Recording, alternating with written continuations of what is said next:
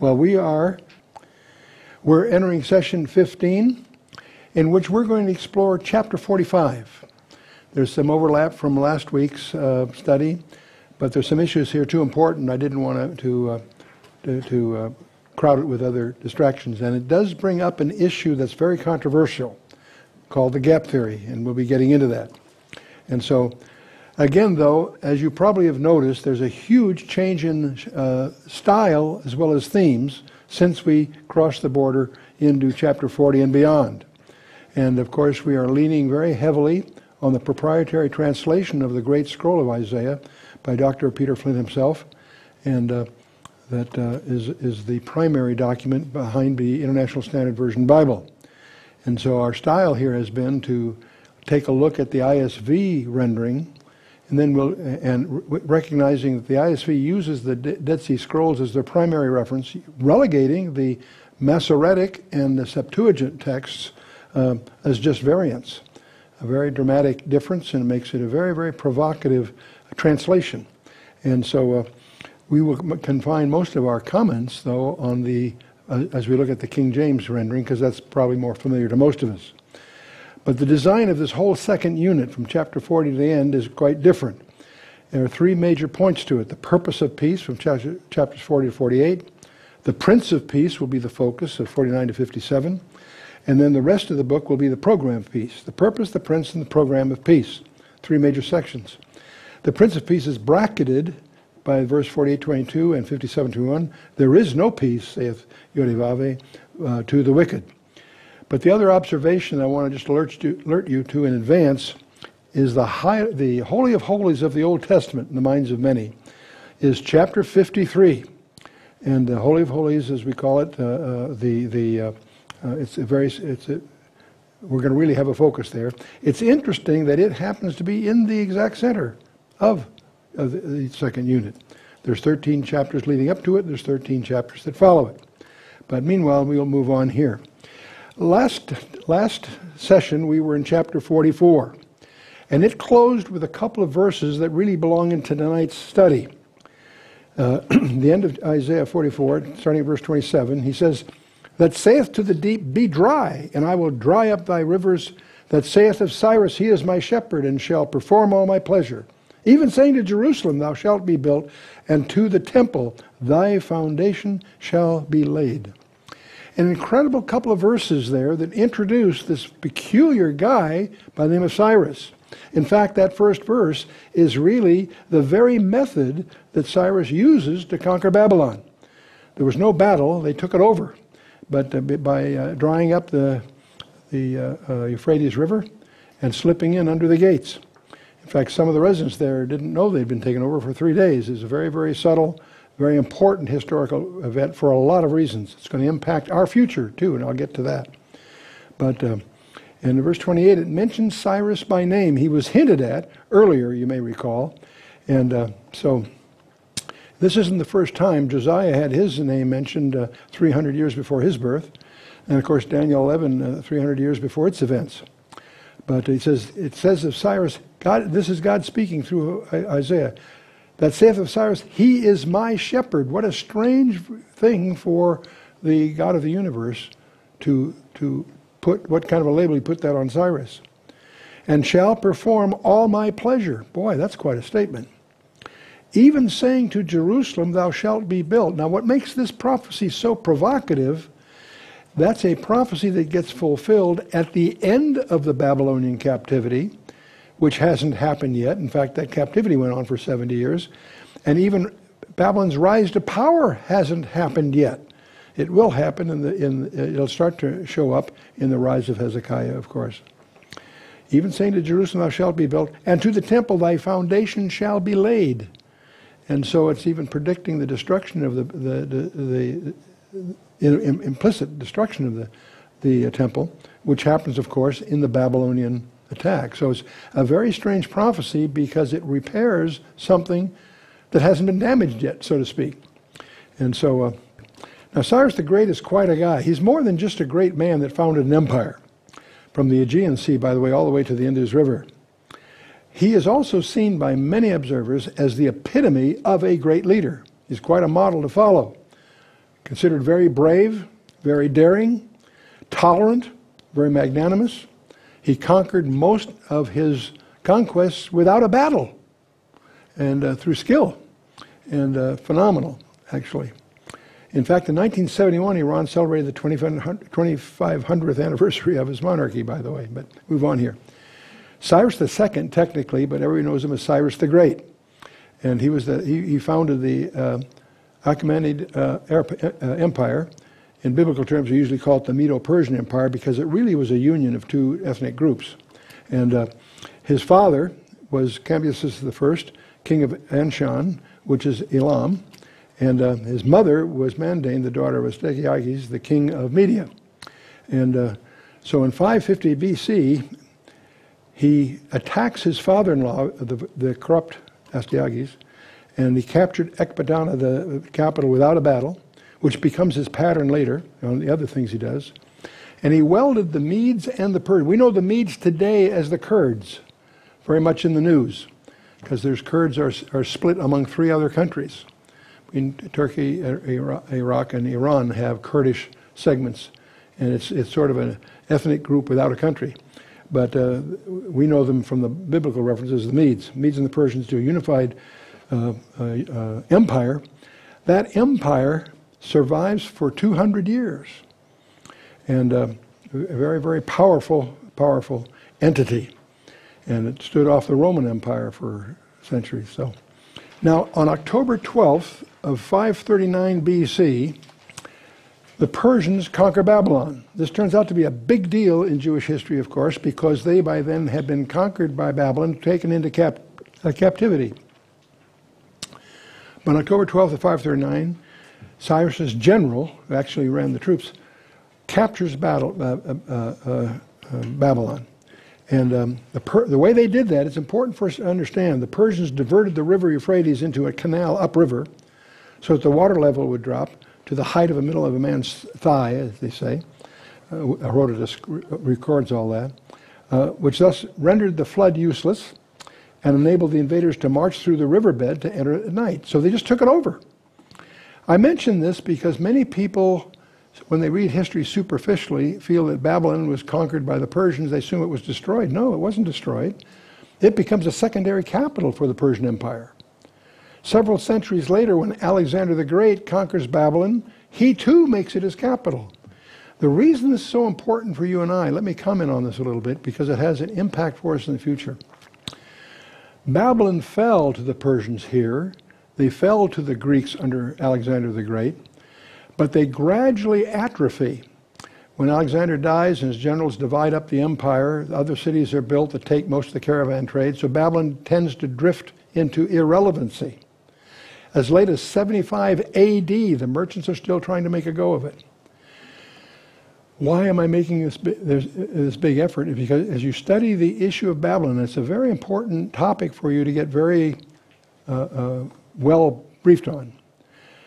In Isaiah 13 and 14, and in Jeremiah 50 and 51, there's great details on the final, at the end time, a destruction of Babylon.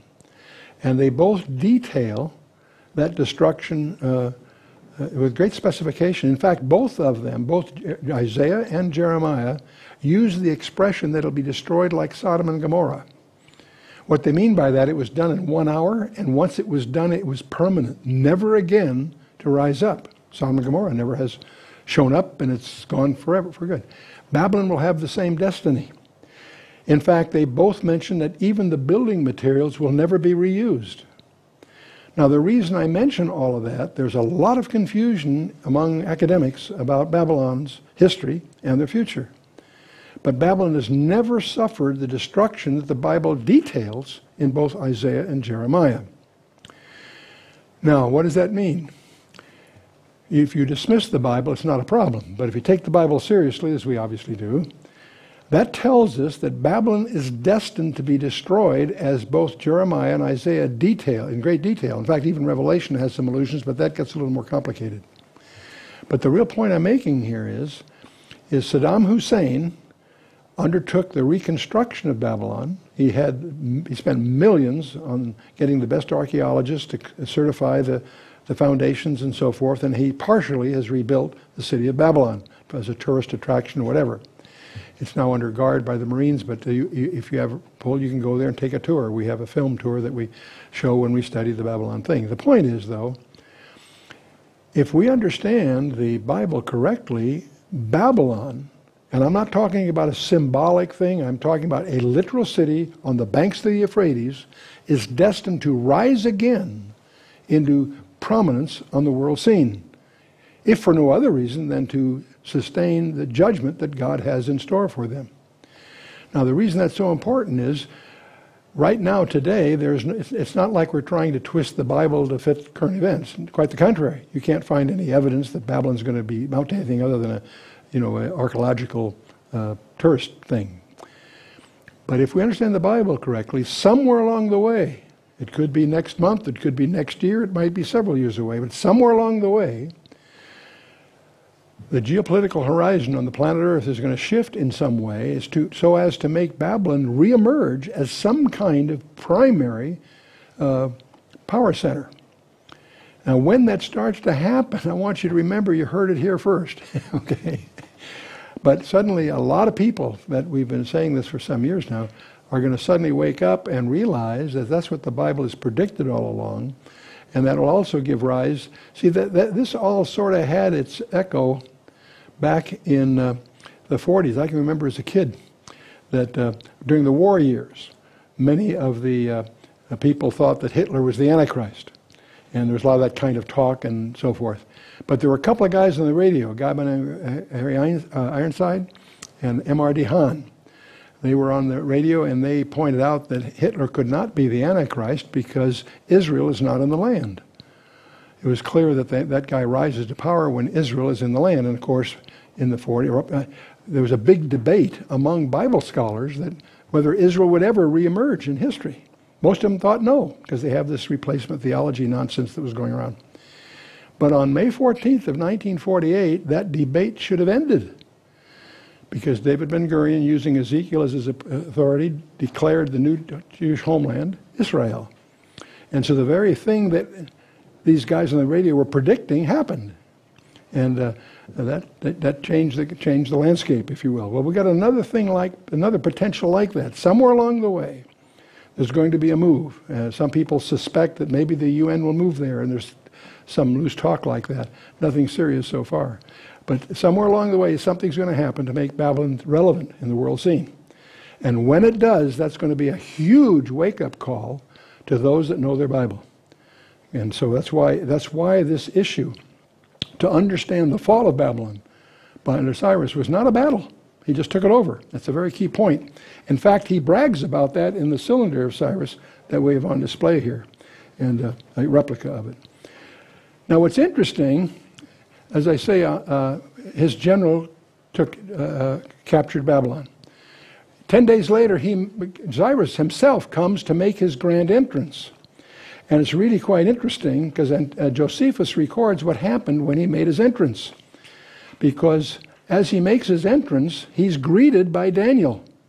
And Daniel has a copy, this ancient scroll of Isaiah, and he reads to Cyrus a letter that God wrote to him, Cyrus, calling him by name, that was written 150 years earlier. And Cyrus isn't skeptical, he's profoundly impressed and, it, and acts upon it. That's what he himself records in a cylinder that's on display in the London Museum, and we have a replica here if you want to take a look at it. So he, this ancient scroll addresses him by name. We're going to take a look at that letter, but all of this is recorded in Josephus in Antiquities, 11th chapter, 11th volume, I mean. Isaiah had died 150 years before Cyrus was born, so this, is, this really shook Cyrus up. What was his response to this? He obviously was very impressed. Wouldn't you be? If you, you're a big conqueror, you come, you take over, and you discover that one of their ancient prophets has written you a letter where God says, I'm calling you by name so that you'll know that I'm the God of Israel. And so what does he do? He frees the, he frees the captives. He lets the Jews that are slave, have been enslaved there for seven years go home. In fact, he gives them donations to build their temple. He gives them financial incentives to go home and, and, and pursue the God that they, they worship. And uh, only 50, less than 50,000 take advantage of that, by the way, which is another interesting comment. But uh, so the, uh, they go, but they go back to Jerusalem under Zerubbabel, and, and that leads to the book of Ezra and Nehemiah in your Bible. So, and so uh, you can look that up. Your, references are there in the notes. But in, the 19th century, a guy by the name of Rassam found uh, the, the, the, cylinder, and it's presently in the London Museum, and we, a good friend gave us a, a, replica of it. You can take a look at it here if you like later. And uh, it'll be on display here in the executive briefing room, uh, in a display case outside later. And basically, is where Cyrus, uh, Cyrus, brags that he captured Babylon without a battle, and they relieve, he relieves them to go home, in effect. And so th- this is recorded in Ezra chapter 1, 2. In Ezra chapter 1, the, uh, verse 2 and 3, it says, Thus saith Cyrus, king of Persia, quote, The Lord God of heaven hath given me all the kingdoms of the earth, and he hath charged me to build him a house at Jerusalem, which is in Judah. Who is there among you of all his people? His God be with him, and let him go up to Jerusalem, which is in Judah, and build the house of the Lord God of Israel. Paren, he is the God, which is in Jerusalem. Interesting comment. Very interesting comment by Cyrus. Okay, so that's the background we hit last time. Let's just jump into chapter 45, starting at verse 1, and we'll start, as is our style, we'll take a look at how the ISV renders it. It has a flow that's uh, quite comfortable, by the way. This is what the Lord says to his anointed, Cyrus, whose right hand I have grasped to subdue nations before him, and I strip kings of their armor. I open doors before him and gates that cannot keep closed. I myself will go before you, and he will make the mountains level. I'll shatter bronze doors and cut through iron bars. I'll give you concealed treasures and riches hidden in secret places, so that you'll know that it is I, the Lord, the God of Israel, who called you by name. It goes on. For the sake of Jacob my servant and Israel my chosen, I've called you, and he has established you with a name, although you have not acknowledged me. I am the Lord, and there is no other besides me. There are no gods. I'm strengthening you, although you have not acknowledged me, so that from the sun's rising to the west, people may know that there is none besides me. I am the Lord, and there is no other. So that's the ISV. It flows pretty well. The King James is, is, is not materially different, but we'll take a look at it. Thus saith the Lord to his anointed to Cyrus, whose right hand I have holden, to subdue nations before him, and I will loose the loins of kings. Now, see, this is one place that the King James picks up something the ISV didn't tag in. It says, I will loose the loins of kings. Now, if you may recall, last time we went through Daniel 5, where Belshazzar is confronted, he's throwing this big party, he's confronted with a handwriting on the wall. And, and everybody's terrified because they see this hand writing this coded message on the wall. And it says that his knees smote one against the other and his loins were loosed. And of course, when you see that in the King James, it may not register what's happening here, but he obviously, what's interesting is not only was it a public embarrassment for the king to have that happen, it was a fulfillment of prophecy. Because long before that, in this letter that God wrote to Cyrus, it mentions that, and I will loose the loins of kings. That's not the kind of expression you'd normally include in some kind of summary. That's a very, very embarrassing, but apparently very public uh, item because it was it's in Daniel chapter 5 as an event that happened there, and here we discover it's prophesied that that's exactly what would happen. And to open before him the two leaved gates, and the gates shall not be shut. And that all has to do with the way they were able to slip in and capture Babylon. And that gets into a whole discussion of the double walls and all that. They had chariot races six abreast around the wall. It was a non trivial defense. It was considered impregnable, which it obviously wasn't. But then God continues here I will go before thee and make the crooked places straight. I will break in pieces the gates of brass and cut in sunder the uh, bars of iron. Now it says here, uh, uh, it says that uh, he subdued nations before him. By the way, those nations were, make a guess how many? Would you believe 46?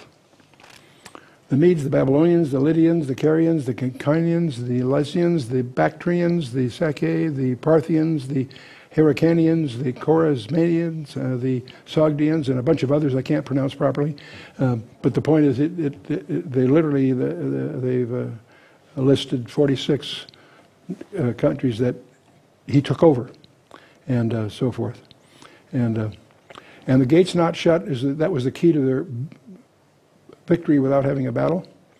And the two lead gates were the double gates of Babylon and so forth. So that's all recorded in this letter to Cyrus, written 150 years before he was born. And he's also, another thing that I want to highlight here there's a strange term in the Bible used of a Gentile king. He's called his anointed. That's nowhere used of anything but, it's not used of a Gentile. It's the only place it is. And many scholars sort of see Cyrus in a certain sense as a type of the, of the uh, coming prince, our coming prince, the Lord Jesus. I'll loose the lords of kings. I, I think I've beat that one to death. We'll move on. I will give thee the treasures of darkness and the hidden riches of secret places, that thou mayest know that I, the Lord, which called thee by thy name, am the God of Israel. Get this next verse. For Jacob my servant's sake and Israel mine elect, I have even called thee by thy name. I have surnamed thee, though thou hast not known me. Boy, he, the Lord really underscores that. He makes it quite clear. This isn't a coincidence. It isn't uh, having written to somebody, oh, else's name is. No, he's, it's specifically uh, uh, addressed to this person. And that's what grabs him when he sees that, of course. He's obviously duly impressed. And so, uh, and he, of course, responds to that. God continues, I am the Lord, and there is none else. There is no God beside me. I girded thee, though thou hast not known me, that they may know from the rising of the sun and from the west that there is none beside me. I am the Lord, and there is none else. Wow. Okay. So the, the ISV now parses this a little differently, going on from verse 7 on. It says, God continues about talking about this is a very interesting passage because here again God is talking about himself. He doesn't do that very often. I form the light and create darkness. I make goodness and create disaster. I am the Lord who does all these things. Shout, you skies above and you clouds, and let righteousness stream down. I am the one who says to the earth, Let salvation blossom, and let righteousness uh, sprout forth. Woe to the one who quarrels with his makers, and a mere potsherd with the potsherds of the earth. Woe to the one who says to the one forming him, What are you making? And your work has no human hands? Oh, sarcasm in there, really. Woe to the one who says to his father, What are you begetting? Or to a woman, To what are you giving birth? This is what the Lord says, the creator of the signs. Question me about my children? Or give me orders about the work of my hands? I myself have made the earth and personally created humankind upon it. Mine own hand stretched out the skies. I marshaled all their starry hosts. Wow. Okay. Well, the King James uh, picks up a couple of things here. He, let's, let's see the same passage in, in, in that handling. I form the light and create darkness. I make peace and create evil. Now, that's a phrase that bothers a lot of people. Uh, that's the way it's translated by the King James translators, but the, that word ra really can mean adversity or calamity. It never means sin. God didn't create sin, but He, of course, assures the consequences of sin, and those backup notes are the uh, verses are in your notes. I, the Lord, do all these things. Drop down, ye heavens from above, and let the skies pour down righteousness. Let the earth open and let them bring forth salvation. Let the righteousness spring up together. I, the Lord, have created it. This is one of the places even the King James flows every bit as good as the ISV, I think, here. Woe to him that striveth with his maker. Let the potsherd strive with the potsherds of the earth. Shall the clay say to him that fashioned it, What makest thou? Or thy work, He hath no hands? Woe to him that saith unto his father, What begettest thou? Or to the woman, What hast thou brought forth? And uh, we're not supposed to question our Maker, are we? Very interesting issue here. Thus saith the Lord, the Holy One of Israel, and his Maker Ask me of things to come concerning my sons and concerning the work of my hands. Command ye me. I have made the earth and created man upon it. I, even my hands, have stretched out the heavens, and all their host have I commanded. Now, this stretching out the heavens is like a curtain. That's a very strange phrase, isn't it? I've stretched out the heavens. That phrase is not just a figure of speech. Stretching the heavens, that's de- dealing with the fabric of space. You and I tend to jump to the conclusion that space is empty. It's empty space. That's our misunderstanding. This is more than a metaphor. The scripture says, Who alone stretches out the heavens in Job? Stretching out the heaven like a tent curtain, Psalm 104. Who stretches out the heavens like a curtain and spreads them out like a tent to dwell in, in Isaiah 40. He has stretched out the heavens in Jeremiah 10. The Lord who stretches out the heavens in Zechariah 12. I could go on here with a lot more of these. The point being, the scripture, the Lord, continually speaks of stretching space. Now, space, you see, we now know, by the way, if you're really sophisticated in physics, is not an empty vacuum. It can be torn according to Isaiah 64. It can be worn out like a garment according to Psalm 102.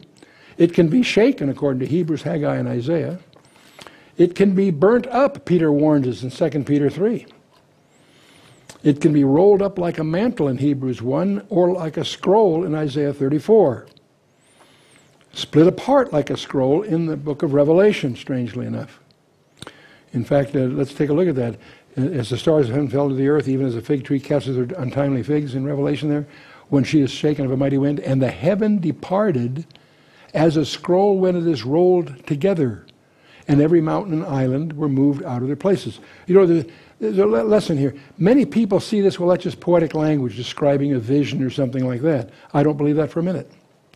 I believe that every detail there is designed deliberately to communicate something to us. And so let's take a look at this a little bit. Departed as a scroll. For something to be rolled up, there must be some dimension in which it must be thin in order to be rolled. And it also needs a dimension towards which it can be bent. You're going to roll something up, that means it's not only thin, but it also is another. In other words, that's telling you that there's more dimensions to space than the three we know about. Interestingly enough. There is a direction that it can be bent toward, and there must be additional spatial dimensions. And the current estimate by the experts in this area is 10, that we live in a 10 dimensional universe. Four of those dimensions we can directly perceive length, width, and height, the three dimensions that make up Euclidean geometry we're taught in school, and time is a fourth dimension. But that's still only four. But we know from a number of indications that there's actually six more that we can't get at. A 10 dimensional universe, if you read the string theorists and so forth, they're all into this thing. There is a, and that's what the scripture also suspects. Nachmanides, an ancient Hebrew sage, con- concluded that the, the, universe has 10 dimensions from his study of Genesis, the Hebrew uh, of Genesis, uh, the, the, book of Genesis. And uh, yet he knows that only four are knowable, six are not knowable. And we suspect that when the Adam fell and God curses the creation, that it fractured. It it was fractured. The four dimensions that we experience obviously are available to us, and we call that the physical, the physical universe. There are six beyond our reach, in a sense, that we can call the spiritual universe. A more common term is consider it the metacosm. The microcosm are things smaller than man. The macrocosm is things larger than man, but both are finite and digital. That's a major discovery in science, and that's a whole other discussion uh, we'll leave for another day. But uh, the area that we know that the physical universe that we're in is a subset of a larger reality. Scientific American, June of 2005, had an article on that. And uh, because the constants of physics are changing, that implies the, phys- the, the uh, physical reality we think we feel is a subset of a larger reality.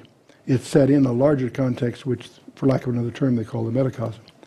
So we'll move on here. Is this possibly the effects of the fall? That's a speculation on our part, but there's a number of us that suspect that entropy, which in uh, Paul in his epistle of Romans called the bond, the creation is subject to the bondage of decay. That sounds to us like uh, uh the entropy laws that are much studied, and that may be that's when they started was at, uh, uh under the curse of, of God. Was the universe then fractured to this four versus six breakdown? It's a speculation. And uh, is that's when we had a separation of what we can, what we experience as the physical universe versus the total picture, which would include the spiritual universe. You can't prove to me that Adam and Eve lived in only three dimensions prior to their fall. And that's something we just jump to conclusions. You, you see these funny little coloring books and stuff, but that's naive. And by the way, you also need to understand when you read your Bible that redemption is not just man both Isaiah and uh, Revelation speaks of a new heavens and a new earth. Heaven, not only the earth, but heaven is going to be uh, restored or replaced, if you will. Okay, let's take the next segment here. In the ISV, it says, I have roused him in righteousness, and I'll make all his pathways smooth. It is he who will build my city and set my exiles free, but not for a price nor reward, says the Lord of the heavenly armies. This is what the Lord says the wealth of Egypt, the merchandise of Ethiopia, those Sabeans, men of great heights, they'll come over to you and will be yours. They'll trudge behind you, coming over in chains. They'll bow down to you. They'll plead with you.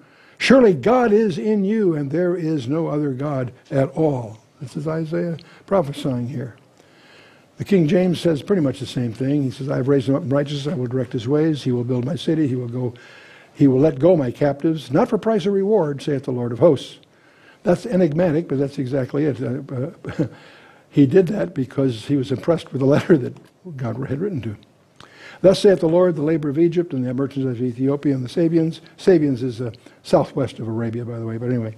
Um, men of stature shall come over to thee, and they shall be thine, they shall come after thee. In chains they shall come over, and they shall fall down unto thee. They shall make supplication unto thee, saying, Surely God is in thee, and there is none else, there is no God. So let's take the next segment. We're, we're heading to another interesting challenge forthcoming here. Uh, verse 15 in the ISV is Truly you are God who, hides himself, O God of Israel the Savior. All of them will be put to shame, indeed, disgraced. The makers of idols will go off in disgrace together, but Israel will be saved by the Lord with everlasting salvation. You won't be put to shame or disgraced ever again. We're going to hear a lot about idols in the next chapter. That's going to be an emerging theme here, but let's go to, on to verse 18 here. For this is what the Lord says, who created the heavens. He is God and the one who formed the earth and made it. He is the one who established it. He didn't create it for chaos, but formed it to be inhabited. I am the Lord, and there is no other. I didn't speak in secret from somewhere in the land of darkness. I didn't say to Jacob's descendants, Seek me in chaos. I, the Lord, speak truth, declaring what is right. This is the ISV, and I'm impressed with it in general. This is one place where they miss something that the the IS, that the King James really nails. So we'll come back to that here in a minute. Gather together and come, draw near and enter, you, your fugitives from the nations.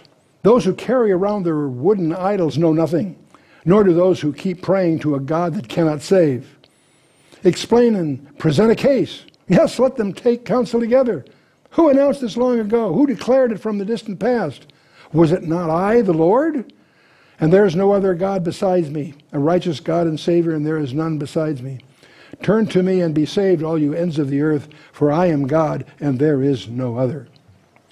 Notice, by the way, some, God does something here, and he does it frequently in the book of Isaiah.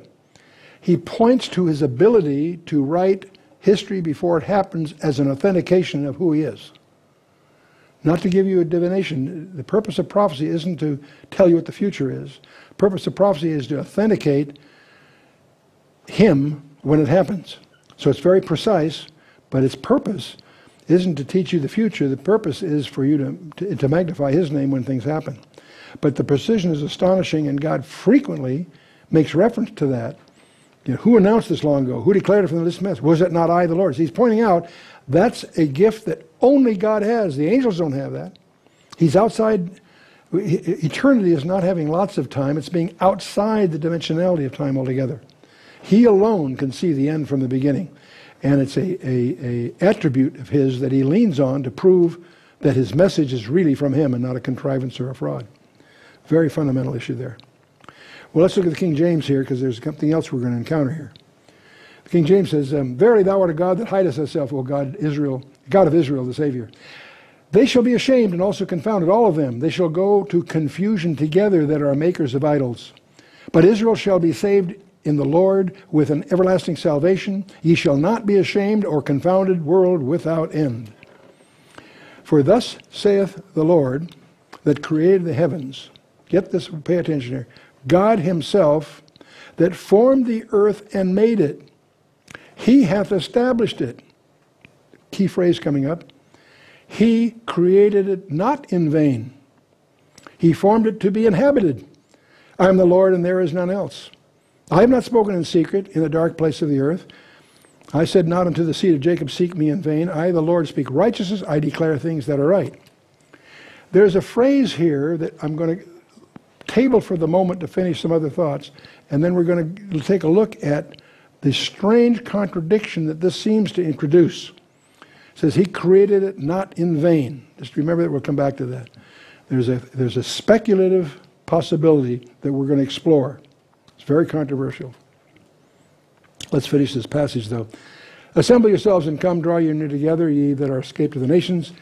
They have no knowledge that set up the wood and the graven image and pray to a God that cannot save. It's amazing how many people pray to a God that cannot save. Muhammad can't save anybody. Tell ye and bring them near, yea, let them take counsel together. Who hath declared this from ancient time? Who hath told it from that time? Have not I the Lord? And there is no God else beside me, a just God and a Savior. There is none beside me. By the way, did you notice there's two there? A just God and a Savior. I think that's interesting. Look unto me and be ye saved, all the ends of the earth, for I am God and there is none else. And then the ISV continues just to finish, the, we'll finish the chapter and come back to some other issues. Verse 23 By myself I have sworn, from my mouth has gone out integrity, a promise that won't be revoked. To me every knee will bow, and every tongue will swear. Sounds like the, Paul's epistle to the Philippians, doesn't it? And one will say of me, Only in the Lord are victories and might. All who raged against him will come to him and will be put to shame. In the Lord, all the descendants of Israel will triumph and make their boast. Well, in the King James, I have sworn by myself, the word has gone out from my mouth in righteousness and shall not return, that unto me every knee shall bow and every tongue shall confess. And that sounds like Philippians 2.10 for those of you that what's called the kenosis. That's another, anyway. Surely shall one say in the Lord, Have I righteousness and strength? Even to him shall men come, and all that are incensed against him shall be ashamed. Okay. In the Lord shall all the seed of Israel be justified and shall glory. Okay. So we've done faithfulness to the passage. I want to double back on an issue that comes out of the text, which is widely known as the gap theory. There are people that don't believe in it, don't like it. There are also people that think they know it and they apply it to the wrong things. So it's a very touchy area. We're going to explore a very controversial speculation. I want you to be aware of it. I don't want to oversell it because it is controversial, but I want you to be just aware of it and understand what it says. In back there in verse 18, God says that God Himself that formed the earth and made it, He hath established it, He created it not in vain. See, the reason that catches our eye, if you're a diligent student, is because of the second verse in Genesis. Here it says He created it not in vain. Okay. Let's go back to the, where the Bible starts in Genesis chapter 1, starting at verse 1. In the beginning, God created the heaven and the earth. Period. No argument. Big deal. Great. But then the next verse says, And the earth was without form and void, and darkness was upon the face of the deep, and the Spirit of God moved upon the face of the waters. And God said, Let there be light, and there was light. That was the first quote of God in the Bible. And God saw the light that it was good, and God divided the light from darkness, and God called the light day, and the darkness he called night, and the evening and the morning were day one. Okay, it's this second verse that creates all the discussion. And the earth was without form and void, and darkness was on the face of the deep. Let's take a little more closer look at this, okay? The word order here in the Hebrew is rather strange. It implies that the verse is a pluperfect form. The earth not was, was can just mean existence. No, it's a transitive verb requiring action. In Genesis 19, when Lot's wife became a pillar of salt, the word became, same word, used the same way. The earth became without form and void. Okay, big deal. And there's about 20 examples of that, by the way, in this chapter, but we'll get on here. Okay, the earth became without form and void. Now, the word form and void is tohu vabohu, the very word that in Isaiah, verse 45, verse 18, I, di- I did not create it in vain or in void, you see. So it seems like those two verses contradict each other. God didn't create it that way, But in verse 2, it doesn't say he did, it says it became that way. Well, how, it also implies some time between verse 1 and 2. In the beginning, God created heaven and the earth. Period. Good. Time passes, and the earth became without form or void, is the thought. Okay? So the word was there is a haya, which means had become in the pluperfect form. Um, the uh, without form and void, uh, without form is tohu, without form or confused, and void is uh, uh, uh bohu. Tohu that is the phrase, empty or waste. And uh, now what's interesting here, the word and there, used the way it's used, is actually an adversative conjunction. It should be translated but, not and, but the earth became. And uh, that, when you, when you get the top Jewish experts three centuries before Christ's birth who translated the Hebrew scriptures into Greek, those experts translated that way. But the earth became, had become, but the earth had become. You with me? So this isn't a contrived analysis. That's what the experts concluded back then. And uh, it's, the, it's adversative. Let me rephrase it the way it, the people would argue it should be translated. But the earth became without form and void, and darkness was on the face of the deep. And so uh, the uh, the thing that, uh, and incidentally, this tohu bohu, these words are used in Isaiah 34 and, I, and, and uh, several places, including Jeremiah 4. I'm going to show you a strange passage. See, the real issue that lurks behind all of this is a question when did Satan fall? When you read your Bible, you get to chapter 3, he shows up to lead Adam and Eve into trouble. There's no background. You have to infer that background from other passages. Well, the question is we know that he led a rebellion. It's all described in, Re- in Revelation 12 and elsewhere. He led a rebellion. But when did he fall? And the suggestion that comes out of this text is that he, see, he fell sometime prior to Genesis 3, but after Genesis chapter 1, verse 1, obviously, because he was, he was a created thing. Somehow, between Genesis 1, verse 2, there was a rebellion and a judgment and that's when he fell. And it would all occur in this apparent interval between the first two verses. And that's what makes this thing so provocative, but obviously very, very controversial.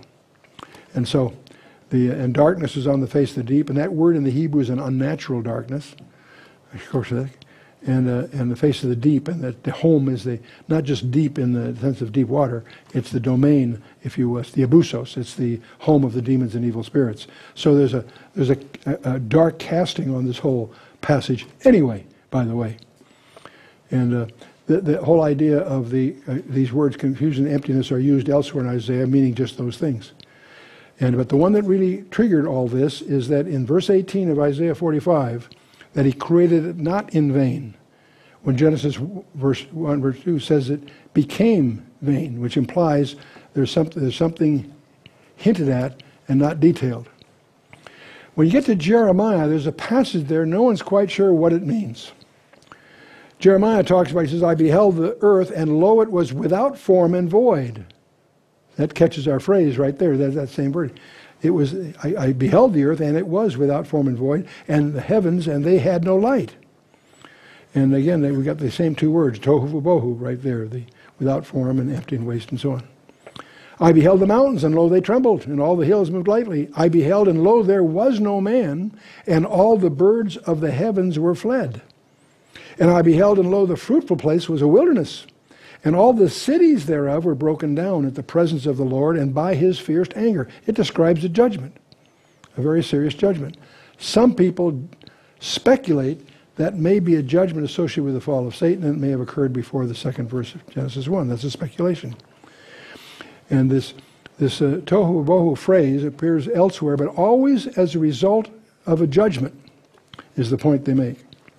And that may be what happened. Maybe it was a judgment of Lucifer between in, in, in verse 2. And so, in no way does this have anything with, with dinosaurs and fossils. They all, dinosaurs died, which means they were after Adam. They're all after all this. But this gap theory that I've just sort of touched on here was originally suggested by a Scotsman, Thomas Chalmers, in 1814. It's supported, by the way, in writings by G.H. Pember, which is very worth reading. He's quite a writer. One of my favorite commentators on the Bible all my life has been Donald Grey Barnhouse. And he wrote a very key book called The Invisible War, which is built on this whole issue, by the way. So here's a very uh, profound scholar, evangelical, um, and, uh, and he, he, he's very much committed to this. G. Campbell Morgan and A. Custance. These are all people that have embraced the so called gap theory. I mention that because most commentators today uh, put it on the shelf. They don't, they don't take it. And that's why the ISV doesn't touch on it either, because the principals there uh, didn't want to inflame that whole discussion again. It is highly speculative, very controversial, but it does seem to link to other passages. That's why I think it's very provocative, even though many people misapply it. And uh, see, the angels were well created. Well, see, the earth is aware. The earth is in place in chapter in verse one. In the beginning, God created heaven and the earth. The angels were created before that because they cheered when God created the earth. The sun and all that comes in day four. Not in, it's already there in day one. See, so many many people miss that. And so, for further study, if you want to get into this, we do have uh, some briefing packages, Beyond Time and Space, Genesis, and some others. Uh, G.H. Pember is a very worth, his, his, one of his greatest books is Earth's Earliest Ages, back in 1887. It's very readable, available, very widely available. Donald Grey Barnhouse's book, The Invisible War, is one of my favorites. In fact, his commentary on Revelation, I have probably five or six feet of books on Revelation alone. My favorite of the bunch, though, is Donald Grey Barnhouse's study of Revelation, by the way. Good, he's a real good guy. But there's some basic issues here. Is there a gap between verse 1 and 2? Well, that's the debate. How old is the universe? Some people, the scientists try to tell us it's 15 billion years old. Our problem is God tells us in, the, uh, in, in Exodus chapter 20, verse 11, that he did it in six days, and he does it in a context he expects us to understand those as days. And so uh, there's a big debate there. Both may be true, by the way. It may be very young. It may also look like uh, 16 years because the speed of light changes, and there's a whole study. That's a whole other discussion sometime. So, so is it less than 10,000 years old, or is it more than 15 billion? And when were the angels created? Well before the earth is the key point, and that's, that's when Satan was created. Well, when did Satan fall? That's the debate. That's the debate. And uh, people say you don't have any proof that it was then. That's true. Can you give me an alternative? When might he have fallen? And you think that through, you've got some interesting problems that emerge. I'll leave that with you then. And I, God sort of challenges Job on these topics. He says, Where wast thou when I laid the foundation of the earth? Declare if thou hast understanding. Who hath the measures of it thereof, and who knowest? Or who stretched hit the line upon it, whereupon the foundations thereof are fastened, and who laid the cornerstone thereof? When the morning stars sang together, and all the sons of God shouted for joy. Sons of God there, Bahalim, is a term for angels in the Old Testament. In other words, the morning stars and and, and, and the sons of God are cheering when the creation was done. So they were created earlier. They were created, but even before all this. So the issue really becomes what about Satan and his origin and agenda and, and his destiny? We've already talked about that somewhat in our study back in Isaiah 14. Uh, probably the most revealing thing here is Ezekiel 28, where again God is speaking to the king of Tyrus at first, but he's really his his, his rhetoric goes far beyond that. It goes into the power behind the throne, as you see there in verse 13. Thou wast thou hast been in Eden, the garden of God. He's talking about Satan here. Every precious stone, and it's interesting the way he describes Eden. It isn't in terms of agricultural things; it's in terms of colors of light. Every precious stone was that covering the sardius, the topaz, the diamond, the beryl, the onyx. It goes through all these, these uh, ways of expressing uh, light. The workmanship of thy tabrets and pipes was prepared the day that thou was created. Apparently, he was a great singer. Satan was. Thou hast been in the Eden, the garden of God. And uh, thou art the anointed cherub that covereth. Strange, quaint wording there. The cherub is a super angel. The anointed one is the one that covereth is the one in charge. Satan was in charge of the other angels. And I have set thee so, and thou wast upon the holy mountain of God, and thou hast walked up and down in the midst of the stones of fire. Thou wast perfect in the days from thy, the day that thou wast created. He's a created being. until iniquity was found in thee. That's where sin began, in the heart of Satan. That the anointed cherub covereth, and till iniquity was found in thee. Key passage, we won't take more time of it here. By the multitude of thy merchandise they have filled the midst of thee with violence. Thou hast sinned. Therefore I will cast thee as profane out of the mountain of God. I will destroy thee, O covering cherub, from the midst of the stones of fire. Thine heart was lifted up because of thy beauty. Thou hast corrupted thy wisdom by reason of thy brightness. I will cast thee to the ground. I will lay thee before kings, that they may behold thee. Thou hast defiled thy sanctuaries by the multitude of thy iniquities, by the iniquity of thy traffic. Therefore will I bring forth a fire from the midst of thee. It shall devour thee, and I will bring thee to ashes upon the earth in the sight of all them that behold thee. And all they that know thee among the people shall be astonished at thee. Thou shalt be a terror, and never shalt thou be any more. How art, and then now the Isaiah passage, which is parallel to that, we studied back in Isaiah 14, but just to refresh your memory. How art thou fallen from heaven, O Lucifer, son of morning? How art thou cut down to the ground, which did weaken the nations? For thou hast said in thy heart, I will sit in heaven. I will exalt my throne upon the stars of God. I will sit upon the mount of the congregation in the sides of the north. I will ascend upon the heights of the clouds. I will be like the Most High. The famous five I wills. That was his ambition. God says, Thou shalt be brought down to Hades, to the sides of the pit. They that see thee shall narrowly look upon thee and consider thee, saying, Is this the man that made the earth to tremble and did shake the kingdoms? That made the world as a wilderness and destroyed the cities thereof? That opened not the house of his prisoners? See, here's an allusion to something we don't know much about.